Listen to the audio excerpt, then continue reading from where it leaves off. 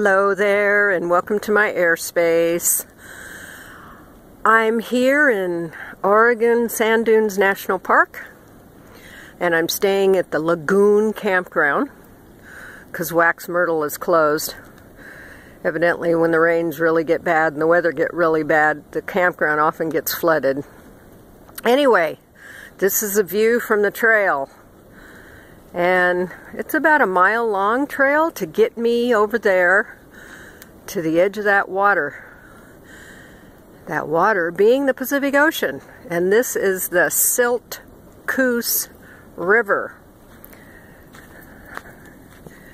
And this is a wonderful, wonderful trail. I just love this park. And I've never been here at this time of year, being Today is October 11th. Last time I was here, it was 4th of July 2019, I believe. So, very different. I'm sure it's going to be.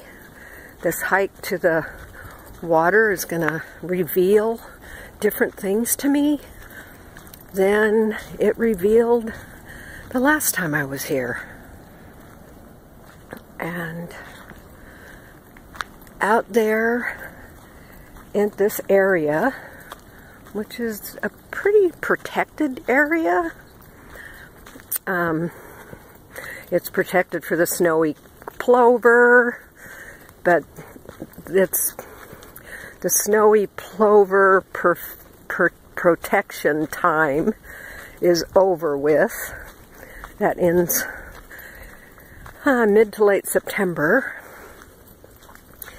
And usually there's big groups, herds of um, sea lions that position themselves off these beaches. And maybe I'll see some of those today. And we'll see. Um, very few people are camped here right now. It rained and it rained hard last night. And my camper has a skylight in it. And boy, was that no noisy. Right over my head, like two feet. And it kept me awake and I ended up staying in bed much later than usual. Usually at this time of day, I'd be on my way back from my walk. It's like 9.30. And, or I would be already long back from it. However, I slept in. I just wake when I naturally feel like waking. And it was a good sleep. Okay, so again, Silt, Silt Coos River in Oregon Sand Dunes National Park. And I see there are some a few people out there.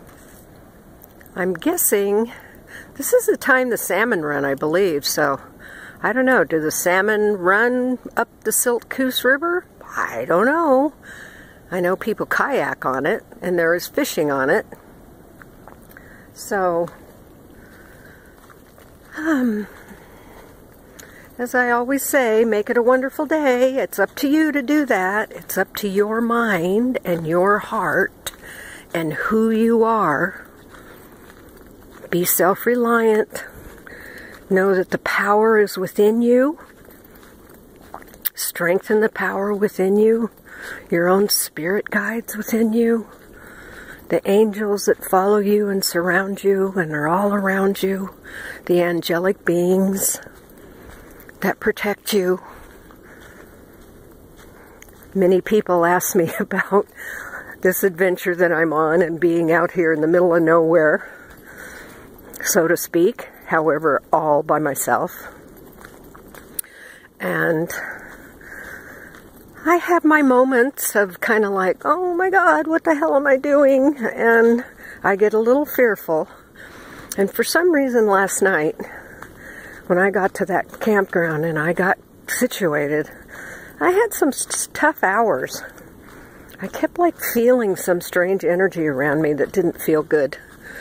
And I felt like I was going to leave first thing in the morning, even though I'd paid for two nights. And now it's up to debate. I see this spot, and it's so beautiful and wonderful, and I believe I will stay both nights. So I'll get a good time spent here out in nature today. Okay, go out and pick up some trash, perform a random act of kindness, tell someone I love you, give yourself a hug, give somebody else a hug. Oh, I think those are otters out there. Yeah, cool. Oh, yeah, I love you. And thank you for subscribing to my channel. Take care. Bye now.